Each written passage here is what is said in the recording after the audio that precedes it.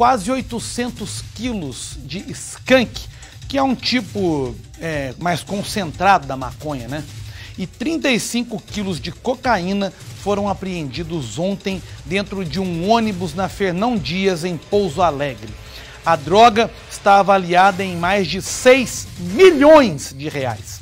Segundo a Polícia Rodoviária Federal, o veículo seguia de São Paulo com destino a Salinas, no norte de Minas, e foi abordado em uma fiscalização de rotina. Durante buscas no ônibus com a ajuda de um cão farejador, as drogas foram encontradas em duas malas e uma mochila. Questionado, o motorista contou que a bagagem era de duas mulheres de 27 e 30 anos que viajavam juntas para Montes Claros.